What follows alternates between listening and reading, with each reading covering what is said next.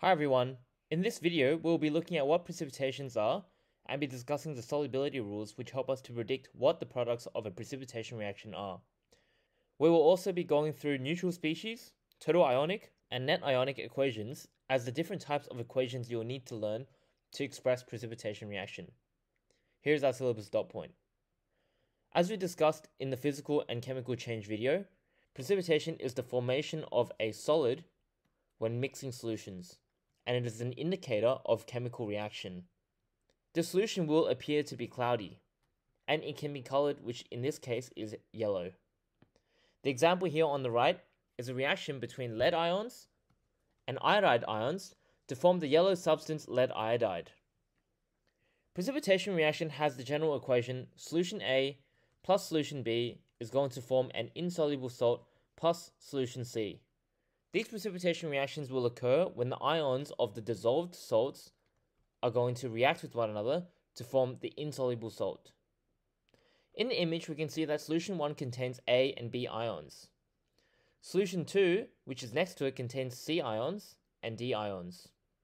When these ions are mixed together, the A plus cation from solution 1 and the D minus anion of solution 2 will react with one another to form the solid substance AD, which we see on the bottom here.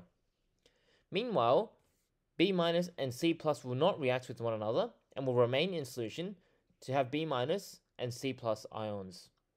However, why is it the case that A and D form a solid, but B and C do not form a solid? This is where we need to consider the solubility rules. Whether or not a precipitation is going to occur will depend on the solubility of the formed salt. So in this case, when we react all of these ions together, AD has low solubility, hence why we describe it as being insoluble and it is in the solid state. BC, however, is aqueous and thus remains in its ionized form in water. The solubility rules are going to determine which pair of ions precipitate, and we can use it to predict the outcome of a precipitation reaction. Here are the general solubility rules for soluble compounds. So the solubility table describes to us which ionic substance containing which ions are soluble in water. The left side of this table tells us which types of compounds are soluble, and on the right, exceptions to that rule. So for example, all compounds which contain group 1 metal cations, lithium, sodium, or potassium, are soluble, as well as all ammonium containing compounds, and there are no exceptions to this rule. The same can be said for acetates and for nitrates. Halide ions are also all soluble in water, except for halides of silver and halides of lead, as well as fluorides of group 2 metal cations like barium. So barium fluoride, for example, is an exception which is insoluble. Sulfates are all soluble except for silver, barium, calcium, and lead. The solubility rules also tell us which compounds are mostly insoluble. Carbonate, phosphate, and sulfide containing compounds are mostly insoluble, except for compounds of these anions with group 1 metal cations or ammonium. If we remember, all group 1 metal cations and ammonium containing compounds are soluble. Hydroxides are also insoluble, except for those of group 1 metal hydroxides. The NESA data sheet provides you with a KSP value for a variety of different compounds. KSP is a value which is a solubility product and it tells us what the solubility of the compound will be. This will be explored in more detail in Module 5 of the HSC Chemistry syllabus. As an easy rule, compounds which have a small KSP value, such as barium phosphate, are more insoluble, and those with a higher KSP on the list, such as barium hydroxide, is going to be sparingly soluble to insoluble in water. In this example, silver nitrate is added to potassium chloride solution. First off, we can write our equation for this ion exchange reaction. Silver nitrate, AgNO3, which is aqueous, is reacted with potassium chloride, KCl, this is also aqueous, for the formation of AgCl plus KNO3. At the moment, we are unsure about what states the silver chloride and potassium nitrate are in, so we need to remember all nitrates are soluble. This means that potassium nitrate is going to be in the aqueous state. Furthermore, all halides, so those including chlorine, bromine, or fluorine, are soluble except for silver halides, and that means this must be a solid. For our next question, we are going to be writing the equation for a reaction between barium hydroxide and magnesium sulfate.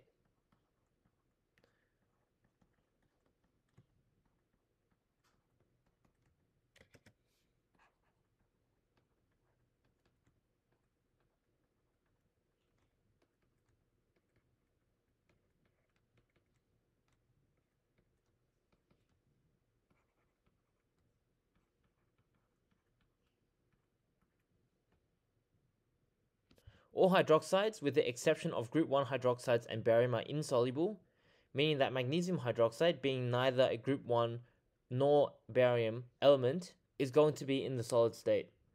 Sulfates of barium are also insoluble, which means that we have two precipitates. We have the precipitation of barium sulfate and the precipitation of magnesium hydroxide.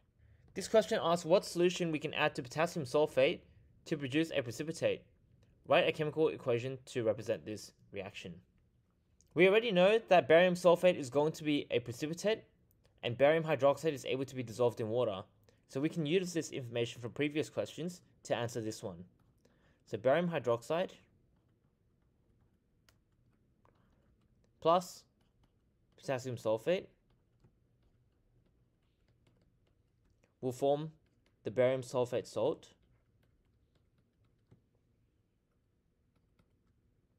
and potassium hydroxide.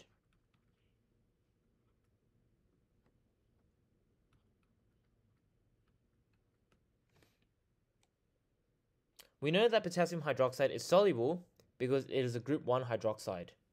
When we are writing equations for precipitation reactions, there are three methods in which we are able to express what reactions are occurring. They are the neutral species equation, the complete ionic equation, and the net ionic equation. The neutral species equation is a type of equation which denotes all chemical species which do not carry any electrical charge, meaning that they are neutral. The example of the neutral species equation for the precipitation between silver nitrate and sodium chloride is demonstrated in this equation below. The aqueous state of an ionic substance tells us that it has been dissolved in water. When ionic substances become dissolved in water, the lattice structure breaks down and the ions which they consisted of are going to disperse uniformly throughout the solution. The aqueous state of an ionic substance tells us that it's been dissolved in water. When ionic substances become dissolved, the lattice structure is going to break down for the ionic substance, and the ions which they're going to consist of are going to disperse uniformly throughout that solution. Therefore, we can write out a complete ionic equation to denote all ions which exist in solution. So Ag NO3, which is aqueous, is going to have Ag and NO3 ions. NaCl, which is aqueous, is going to have Na and Cl ions. And then AgCl, which is insoluble, will remain as a solid. Then we'll also have the sodium and nitrate ions which are dispersed in the solution. What we should notice from the complete ionic equation is that both NO3 nitrate and Na plus sodium are both going to exist on the reactant and the product side. The reason for this is because they do not participate in the reaction themselves. We call these types of ions spectator ions. When asked to give the net ionic equation for a particular reaction, we leave out these spectator ions and only give the participant ions for the particular reaction. In this example, equal volumes of barium chloride and sodium phosphate are mixed. Write a complete and net ionic equation for this reaction. So when we write the complete ionic equation, we are going to need to balance the ions that are in the equation. So it's easy for us to first write the neutral species equation out and then balance that first. So barium chloride BaCl2, this is in the aqueous state, plus sodium phosphate, Na3PO4, this is also in the aqueous state, is mixed and it forms barium phosphate, so this is Ba3PO42. This is solid, plus sodium chloride, which is going to be aqueous, NaCl aqueous. We know that barium phosphate is a solid because this is an insoluble salt. Balancing our equation, put a 3 here, put a 6 here, and we put a 2 here, and our equation has now been balanced. So from here, what we are able to do is we are able to write out the complete ionic equation for this. So we have 3Ba 2 plus because of this in aqueous. We also have 6Cl minus here. Here we have 6 Na plus. And we have two PO4s here.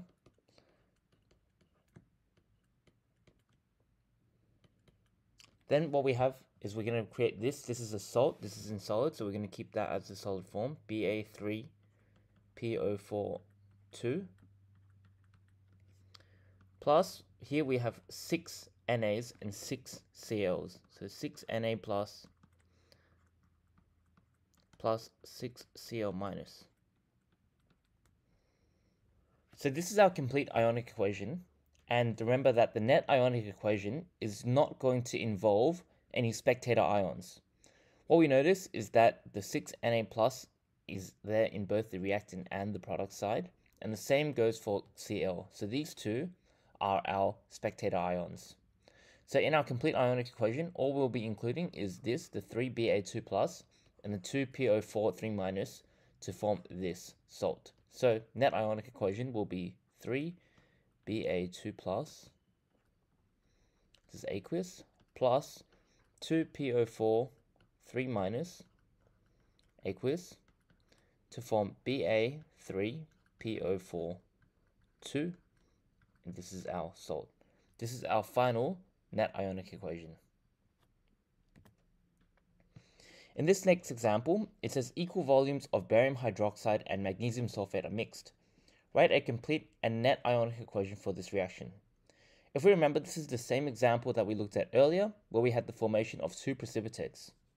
So Ba, OH2, barium hydroxide, this is aqueous, plus Mg, SO4, this is also going to be aqueous. We're creating Ba, SO4, this is our first precipitate, and our second one is Mg, OH2. So looking at this, we should write our complete ionic equation, doing the same thing that we did before. So we have Ba2 plus, this is aqueous, plus we have 2 OH minus here. Remember, OH minus is a polyatomic ion, which means that we treat it as its own group, plus Mg 2 plus, plus SO4 2 minus, sorry, I forgot to add aqueous state here. And from here, we are going to be making Ba SO4 solid plus Mg OH2. This is also solid. Now, when we move on to the net ionic equation, remember that net ionic equation is where we remove the spectator ions. In this case, because we are forming both precipitates, what's happening is we are actually involving each and every one of these ions in the final reaction. Because of this, our complete ionic equation and our net ionic equation are going to be the same. So these are our final solutions.